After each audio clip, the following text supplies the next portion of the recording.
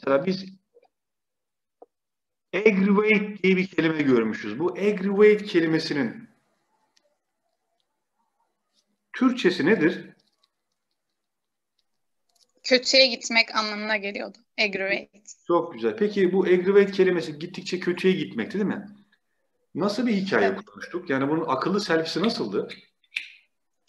Hmm, Salonun ortasında kocaman bir kravat vardı.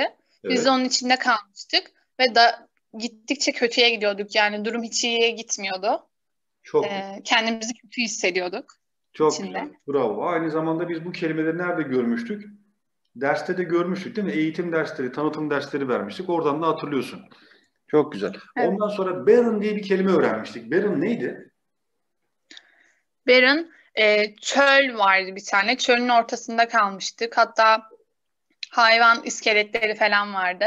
Tamam. E, bayağı kurak, verimsiz bir ortamda hatta orası. Çok güzel. Böyle hatırlıyorum. Kelimenin anlamı da kurak, verimsizdi değil mi? Hikayeyi hatırlayın. Hikayeyi gözümüzün önüne getirdiğimizde ne yapıyorduk? Kelimeleri hatırlıyorduk. Çok güzel. Casual kelimesi vardı. Casual. e, biz e, elimizde bir kovayla içinde kajular vardı. Kaju doluydu. Hı hı. E, dışarıda yürüyorduk ve insanlar bize çok acayip bakıyordu. Ne yapıyor bu ya gibisinden.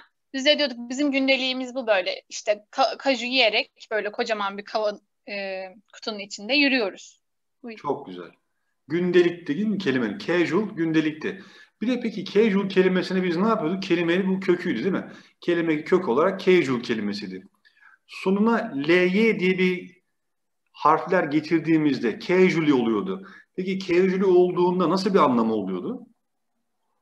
O da kajuyla kol kola yürüyorduk. Hı hı. İnsanlar diyordu sen ne yapıyorsun ya falan. İşte biz Evet. diyorduk tesadüfen gördüm, karşılaştım, yürüyoruz birlikte. Çok güzel. Böyleydi bunun hikayesi. Aferin kızım. Peki ondan sonraki kelime. Yine bu sefer de casual kelimesini sonra t'ye getirmiştik. Casualty. L-Y-T gibi bir harf geldiğinde kelimenin anlamı ne olmuş Türkçesi? Ee, bir tay vardı. Hı hı. Ee, tay e, kajuya çarpmıştı ve yaralanmıştı. Yani Evet. bir kaza geçirmişti orada. Ee, kaza ve yaralı anlamına geliyor zaten. Yani kaju ve tay kelimelerini kullanmıştık. Doğru mu? Evet.